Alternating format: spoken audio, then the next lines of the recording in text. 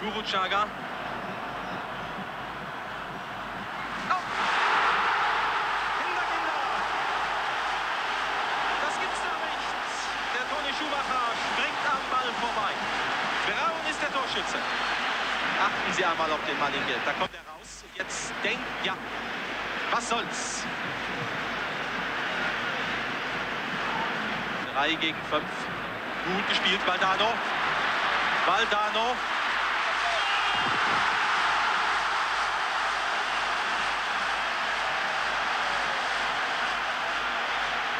Ist das die Entscheidung?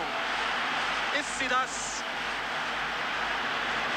Der Mann, der so lange keine Tore mehr geschossen hat. Hier wieder freigespielt. Kein Abseits. Da hinten stand noch ein deutscher Spieler.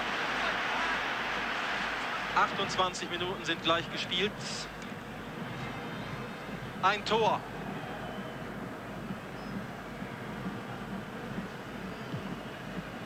Völler. Und da ist es! Da ist es! Rummenigge! Und das möchten wir gerne noch mal sehen. Und dann Zugabe. Das klingt vermessen, nicht? Entschuldigung. Hier, Rudi Völler und dann rutscht Karl-Heinz Rummenigge in den Ball hinein. Sein erstes Tor hier. Vielleicht gibt ihm das auch.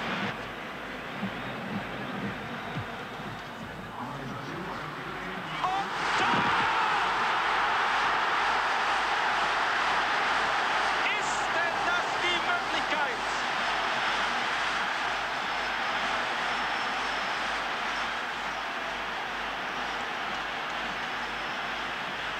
Maradona. Kein Abseits. Guruchaga. Toni, halt den Ball. Nein.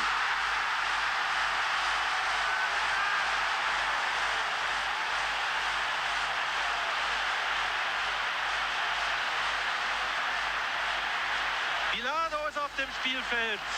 Und jetzt lassen die deutschen Spieler zum ersten Mal, es war nicht abseits, die Köpfe hängen.